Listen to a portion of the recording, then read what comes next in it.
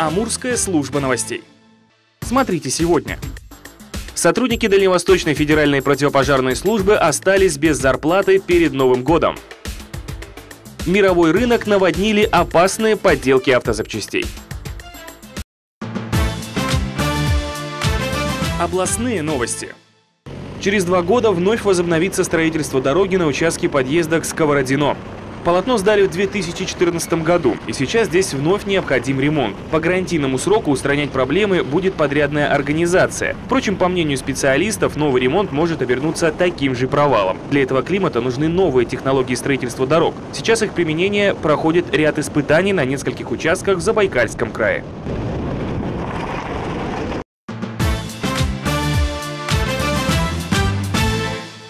Сотрудники Дальневосточной федеральной противопожарной службы получили неполную зарплату за декабрь. Чтобы рассчитаться с сотрудниками до Нового года, у ведомства не хватит средств. Не успеют получить часть зарплаты работники Амурского МЧС. 30 семей из пяти аварийных домов свободно переедут в новые квартиры. В городе в рамках программы переселения из ветхого и аварийного жилья сдан новый 30-квартирный дом. В числе переселенцев и 4 семьи погорельцев, чье жилье пострадало в пожаре 22 декабря. Их определили в новое жилье экстренно. Остальные свободницы пока еще только перевозят вещи. Поклонный крест на въезде на космодром Восточный решили не устанавливать. Его решили оставить на территории храма в Циолковском. Напомним, четырехметровый крест с иконой князя Владимира специально для Восточного изготовили в Санкт-Петербурге. Открытый чемпионат и первенство Благовещенска по УШУ 28 и 29 декабря проходили в спорткомплексе «Юность».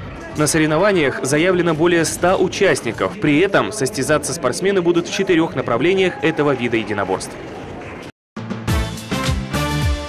Общественное мнение.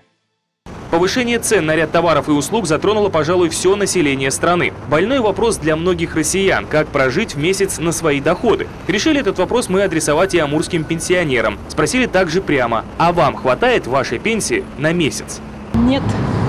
Нет, Нам бы конечно, еще чё- столько, еще чуть-чуть постолько. чё ж, где же хватит, это дороговизна с каждым Конечно. месяцем и с каждым годом. Покушать надо. На еду основном Так, и одеться И надо. на ЖКХ.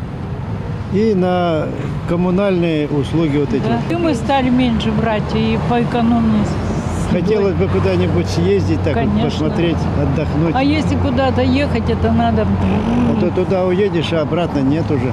Ну, 13 тысяч на месяц не прожить и за квартиру заплатить. Вы получаете 13, да? Да, А вы себя в чем-то ограничиваете во многом? во многом. Чего хотелось? бы? Ну, хотя бы 20. Хотя бы. В принципе, на основные продукты хватает. Вот. Но чтобы куда-то поехать, купить лекарства, конечно, нет. Хотелось бы, чтобы цены были стабильны. Пусть бы она оставалась такой, но чтобы цены были стабильны и не повышались ежемесячно. Куда хватает? На жратву не хватает. А сколько вы получаете? 15, А сколько бы хотелось?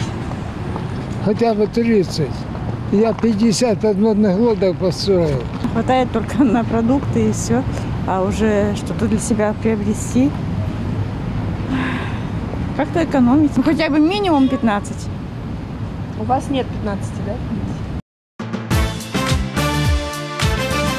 Новости России. В Госдуме предложили запретить россиянам все операции с валютой на территории страны. С такой инициативой выступил депутат от ЛДПР Иван Сухарев. По мнению парламентария, такие меры помогут укреплению рубля и станут еще одной антисанкционной мерой.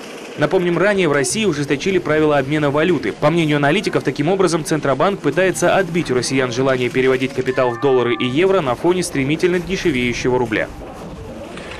Число бедных семей, которым не хватает денег на покупку еды или одежды, в России за год выросло почти вдвое, с 22 до 39%. К такому выводу пришел в ЦИОМ. Сейчас показатели вернулись на уровень 2009 года. Кроме того, сократилось число тех, кто может позволить себе покупку продуктов и одежды, однако испытывает затруднения с приобретением мебели и бытовой техники – с 47 до 40%. А также тех, чьих средств на это хватает, но недостаточно для покупки автомобиля – с 27 до 16%.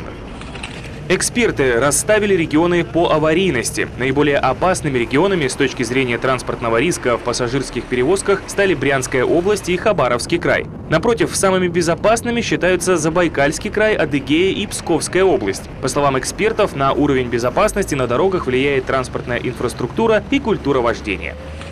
Южная Осетия готовится к референдуму по присоединению к России. Об этом заявил президент частично признанного государства Леонид Тибилов. Добавив, что временные рамки пока не определены, однако произойдет это не позже апреля 2017 года. Тибилов также предложил переименовать Южную Осетию в Южную Осетию-Аланию. Он отметил желание объединиться с Северной Осетией-Аланией в составе России. В России растет число террористических преступлений. Только за 11 месяцев 2015 года в России было зарегистрировано более 2 миллионов преступлений. Это на 8,5% больше, чем за аналогичный период прошлого года. Из них более полутора тысяч преступлений террористические. В прошлом году их было на 54% меньше. Причем только треть таких преступлений была раскрыта. Кроме того, на четверть выросло число преступлений на почве экстремизма. В 2015 году их было около 1200, следует из официальной статистики МВД. Мировые новости. В китайском городе, который известен производством запчастей, машины штампуют партию деталей. Вероятно, это ремни распределительных валов. Они очень дорогие. Они также очень важные. Если ремень рвется, то мотор перегревается. Существует риск возгорания. И эти детали поддельные. Небольшая фабрика в городе Вэньчжоу, которая их производит, одна из многих подобных предприятий.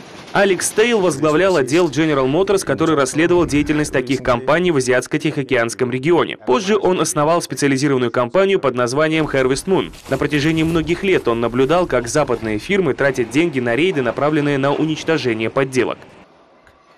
Сегодня они делают один бренд, завтра другой. Чем больше объем продукции, тем больше подделок. То есть детали Volkswagen делают больше, чем детали Rolls-Royce. Независимое расследование информагентства Associated Press выявило, что поддельная продукция, которую производят в Китае, включает автозапчасти, лекарства, продукты личной гигиены и детали для электроприборов. Статистика показывает, США проигрывают битву против подделок, особенно опасных. Западные фирмы пытаются бороться с подделками, нанимая компании по расследованию в Китае. Однако это не помогает. Очень часто сами расследователи производят или продают поддельную продукцию. Информацию о рейдах они нередко фабрикуют. Некоторых следователей подозревают в том, что они также за деньги прикрывают предприятия, которые производят фальсификат. По идее, мы должны помогать, но существующая система приводит к тому, что мы приносим нашим брендам больше вреда, чем пользы. Среди 585 тысяч поддельных запчастей, изъятых за последние пять лет, были подушки безопасности. Они не только не открывались, но и загорались, а также выбрасывали в лица пассажиров металлические детали. Мы видели поддельные шины, поддельные масляные фильтры. Мы видели поддельные лобовые стекла и другие детали. Некоторые детали, такие как подушки безопасности, части тормозной системы, тормозные колодки, очень-очень опасные. Изъятая продукция оказывается на подобных складах, как этот в Нью-Джерси. Здесь товары находятся под надзором Бюро таможенного и пограничного контроля США. Офицеры изучают содержимое тысяч коробок. Объемы поддельной продукции поражают. Каждый товар от одежды до электроники необходимо пометить. В этой сумке эмблемы бренда Michael Kors. Их собирались поместить сюда. Офицеры говорят, что объемы изъятых опасных поддельных товаров возрастают. При этом качество фальсификата тоже растет.